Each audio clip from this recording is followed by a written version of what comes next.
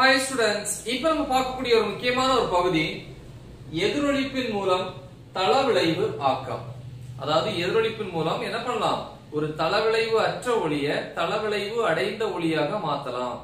நம்ம ஏற்கனவே பார்த்திருப்போம். சில நுட்பங்களை பயன்படுத்தி தளவிளைவு அற்ற ஒளிய தளவிளைவு அடைந்த ஒளியாக மாத்தலாம் அப்படின்னு சொல்லியிருப்போம். அதுல வந்து ஃபர்ஸ்ட் தேர்ந்தெடுக்கப்பட்ட உட்கவர்தல் அல்லது தெரிவு உட்கவர்தல் அப்படின்னு சொல்லி ஒண்ணு பார்த்தோம். ரெண்டாவது வந்து பாத்தீங்கன்னா எதிரொலிப்பின் மூலம் தளவிளைவு. இனி அடுத்து மூணாவது ஒண்ணு இருக்கு. இரட்டை ஒளி விலகலின் மூலம் தளவிளைவு. நான்காவது ஒண்ணு என்ன அப்படின்னா ஒளி சிதறலின் மூலம் தளவிளைவு. இப்ப நம்ம ரெண்டாவது ஸ்டேஜ்ல நிக்கிறோம் இல்லையா? என்னது? எதிரொலிப்பின் மூலம் தளவிளைவு ஆக்கம் சோ இந்த நாலு நுட்பங்கள்ல எது வந்து எளிய முறை அப்படின்னு பாத்தீங்கன்னா எதிரொலிப்பு தான். சரியா? சோ அப்ப எளிய முறை அப்படின்னு இங்க எழுதுறேன். எளிய முறை. என்னது? எதிரொலிப்பு என்ன எதிரொலிப்பு ஒளி எதிரொலிப்பு ஒளி எதிரொலிப்பு சரியா? சரி எப்படின்னு பார்ப்போம். ஒரு ஒளி மூலத்திலிருந்து வரக்கூடிய ஒளி எப்படி இருக்குன்னு சொன்னேன். அனைத்து திசைகள்லயும் அதிர்வுகளை பெற்றிருக்கும். அதனால அந்த ஒளி என்ன சொல்லுவோம்? தளவிளைவு அற்ற ஒளி அப்படின்னு சொல்லுவோம். கரெக்டா சரி. இப்ப இந்த எதிரொலிப்பின் மூலம் ஒளிய தளவளைவு அடைய வைக்கணும் அப்படின்னு நமக்கு என்ன வேணும்? ஃபர்ஸ்ட் எதிரொலிப்பு தளம் வேணும். கரெக்டா சரி. சோ அப்ப ஃபர்ஸ்ட் ஒரு எதிரொலிப்பு தளத்தை எடுத்துக்கிறோம். சோ எக்ஸ் ஒய் அப்படின்னு சொல்றோம். சோ இதுல என்னாவது பாத்தீங்கன்னா ஒரு ஒளிக்கற்றை இந்த எதிரொலிப்பு தளத்துல போய் விழுது. கரெக்டா சோ இந்த மாதிரி விழுது. இந்த ஒளிக்கற்றை எங்க இருந்து வந்திருக்கும்பா ஒரு ஒளி மூலத்துல இருந்து ஒளி மூலத்துல இருந்து வரக்கூடிய ஒளி எப்படி இருக்கும்? தளவிளைவு அற்ற ஒளி அதாவது அனைத்து திசைகள்லையும் அதிர்வுகளை பெற்றிருக்கும். எப்படின்னா இப்படி இந்த மாதிரி இருக்கும். கரெக்டா சோ இந்த மாதிரி சோ இந்த மாதிரி எல்லாம் இருக்கும் கரெக்டா அனைத்து திசைகளையும் அதிர்வுகளை பெற்றிருக்கும். சோ அதனால என்ன சொல்லுவோம்? படும் ஒளிக்கற்றை. இது கற்றை இல்லையா? ஒளிக்கற்றை ஒளி குரூப் இது வந்து படுகதிர்னு சொல்லுவோம் விழக்கூடிய ஒளிய படுகதிர் அப்படின்னு சொல்லுவோம் அல்லது விழும் கதிர் அப்படின்னு சொல்லுவோம். இல்லையா? ஓகேப்பா. இப்ப நான் ஏற்கனவே சொல்லியிருப்பேன். அனைத்து திசைகளிலையும் அதிர்வுகளை பெற்றிருக்கு. இப்ப அதுல நான் ஒரு சிறிய பகுதியை மட்டும் எடுத்துக்கிறேன். கண்டிப்பா அதுல வந்து செங்குத்து பகுதியும் இருக்கும் கிடைத்தள பகுதியும் இருக்கும். இல்லையா? சோ இந்த மாதிரி. பாருங்க இப்படி இருக்கு. நான் ஏற்கனவே என்ன சொல்லியிருக்கேன்? ஒரு தளவளை வாக்கி வழியா வரும்போது இந்த ரெண்டுல ஏதாவது ஒரு பகுதியை மட்டும் அது வெளிவிடும். இன்னொரு பகுதி என்ன பண்ணும்? உட்கவரும். செங்குத்து பகுதியை வெளிவிட்டுச்சுன்னா இந்த கிடைத்தள பகுதியை உட்கவரும். அப்படின்லாம் படிச்சிருக்கேன் அப்ப இந்த ஒளி தளவளைவு அடைந்த ஒளி. அல்லது இந்த பகுதியை வெளிவிடும் இந்த பகுதியை உட்கவரும். சோ இப்படி எல்லாம் படிச்சிருக்கோம் இல்லையா? சோ அப்ப இந்த மாதிரிதான் இருக்கும். கரெக்டா இது ஆனா இந்த ரெண்டு பகுதிகளையும் பாருங்க. இப்படி பார்க்கும்போது ஓகே நோ ப்ராப்ளம் ஆனா இப்படி பார்க்கும்போது உங்களுக்கு எப்படி தெரியும்? இது இந்த மாதிரி செங்குத்தா தெரியும். இது வந்து எப்படி இருக்கு? உங்களுக்கு வந்து ஒரு புள்ளி டாட் மாதிரி தெரியும் அப்படின்னு சொன்னேன் இல்லையா? அப்ப இங்க வரையும் போது அப்படிதான் வரைய முடியும். Dot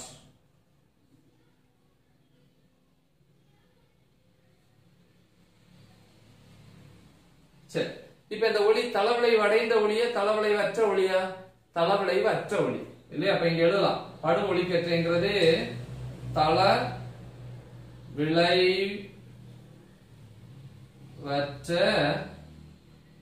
ஒளி அப்படின்னு சொல்லிட்டப்பா இப்ப இந்த தளவிளை வற்ற ஒளி இருக்குல்லப்பா இதுல ரெண்டு பகுதிகள் இருக்குன்னு சொன்னேன். இங்க பாருங்க. சோ இந்த இருக்கு இல்லையா? இந்த பகுதி நமக்கு பாக்குறது புள்ளி மாதிரி தெரியுது. இந்த ஒளி இப்படிதான் வருது. கரெக்டா இப்படிதானே வருது?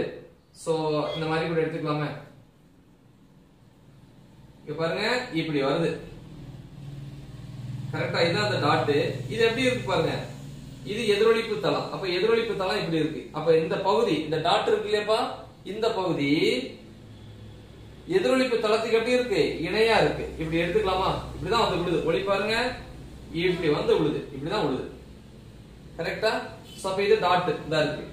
சப்ப இந்த பகுதி இல்லையா? புள்ளியால குறிக்கப்பட்ட இந்த பகுதி எதிரொலிப்பு தளத்துக்கு எப்படி இருக்கு இணையா இருக்கு. இந்த ரெண்டுக்கு இடைப்பட்ட கோணம் ஜீரோ ஆனா இது பாருங்க இது இணை கிடையாது. கரெக்டா ஒரு குறிப்பிட்ட கோணத்துல இருக்கு. சோ இதை வந்து நம்ம என்ன பண்ணோம் அப்படின்னா அம்புக்குறியில வந்து காமிச்சிருப்போம். கரெக்டா சோ பாத்துக்கோங்க இந்த மாதிரி இருக்கும். அப்ப இந்த புள்ளியானது எதிரொலிப்பு தளத்துக்கு இணையாகவும் இந்த அம்புக்குறியானது இணையற்றதாகவும் இருக்கு. சரிப்பா. இப்ப இத பட்டு என்ன ஆகும் கண்டிப்பா வந்து ஒரு பகுதி எதிரொலிப்படையுமா இன்னொரு பகுதி என்ன ஆகுமா? இந்த மாதிரி விலகல் அடையுமா இப்ப ஒரு செங்குத்து கோடு ஒளி விழுந்த புள்ளிக்கு வரைஞ்சிட்டேன் அப்படின்னா இது ஆக்சுவலா வந்து எதிரொலிப்பு ஒளிக்கற்றைன்னு சொல்லுவோம். எதிரொலிப்பு ஒளிக்கற்றை. சோ இது வந்து விலகு ஒளிக்கற்றை. சரியா? பொதுவா இத படுகோணம் ஐன்னு சொல்லுவோம். இது எதிரொலிப்பு கோணம் ஆறுன்னு சொல்லுவோம். இது விலகு கோணம் ஆர் இது பொதுவா சொல்றது. சரியா? இப்ப என்ன அப்படின்னா நல்லா பாருங்க. எப்பவுமே படுகோணமும் எதிரொலிப்பு கோணமும் சமமா இருக்கும். தளம் கரெக்டா இருந்துச்சுன்னா. சோ அப்ப இதையும் நம்ம என்ன எடுத்துக்கலாம்? ஐன்னு எடுத்துக்கலாம். ஓகேவா இப்ப பாருங்க. இதுல பட்டு என்ன ஆகுது அப்படின்னா இந்த பாருங்களேன். இப்படி இருக்கு இல்லையா?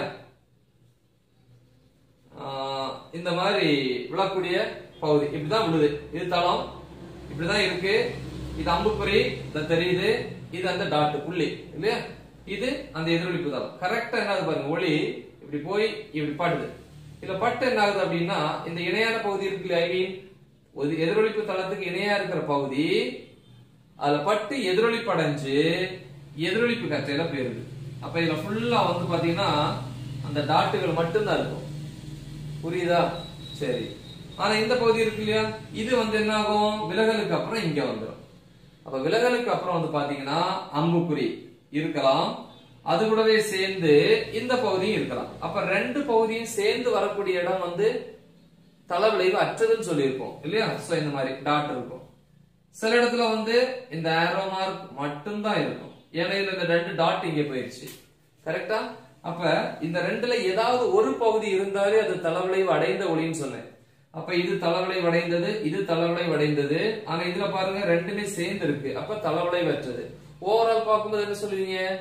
பகுதி தளவிளைவு அடைந்தது இங்க பாருங்க ஏதாவது ஒரு வகை மட்டும்தான் இருக்கு. So, அப்ப இத முழுவதும் தளவிளைவு அடைந்த ஒளி. கரெக்டா இங்க பகுதி தள விளைவு. கரெக்டா அந்த நேரத்துல இந்த ரெண்டு கதிருக்கு இடைப்பட்ட கோணம் எதிரொலிப்பு க- கதிருக்கும் விலகுவதற்கு இடைப்பட்ட கோணம் தொண்ணூறு டிகிரியா இருக்கும். சரியா? அப்ப இதை முழுவதும் தளவிளைவு அடைந்தது இது பகுதி தளவிளைவு அடைந்தது அந்த மாதிரி கிடைக்கும் அப்படின்னு சொல்றாங்க. அப்ப எந்த படுகோணத்துல? எல்லா கோணத்துல இப்படி வராது. சரியா?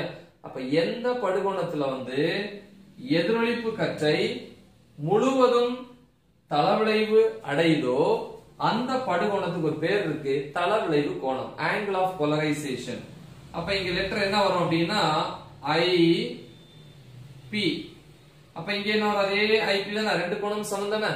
சரி. அப்ப இதுக்கு பேர் என்னது?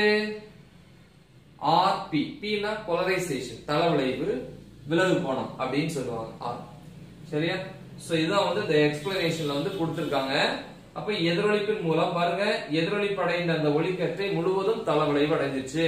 இந்த ரெண்டுல ஒரு பகுதி மட்டும்தான் இருக்கு. அதாவது ஒரு பகுதிங்கிறது எதிரொலிப்பு தனத்துக்கு இணையாக வரக்கூடிய அந்த ஒளிக்கற்றை இங்க போகுது.